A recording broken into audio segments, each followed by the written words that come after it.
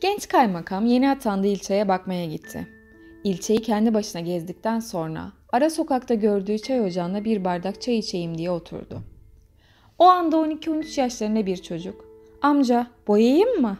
dedi. Ayakkabısı boyalı olmasına rağmen çocuğu kırmamak için "Tamam, gel boya." dedi. Bu arada iyi boyarsan sana istediğim paranın iki katını veririm deyince o çocuk ben hep aynı boyarım dedi.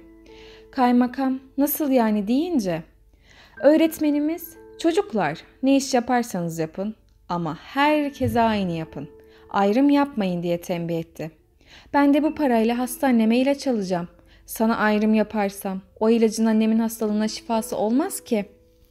Genç kaymakam hayatının en iyi dersini almıştı. Ağlamamak için kendini zor tuttu.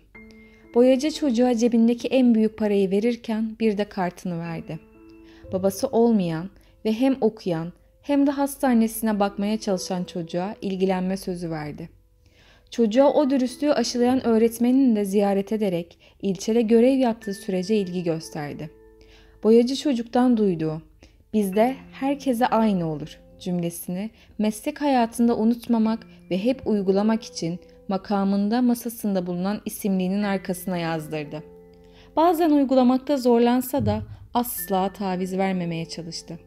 Gerçekten ders alınacak bir olay.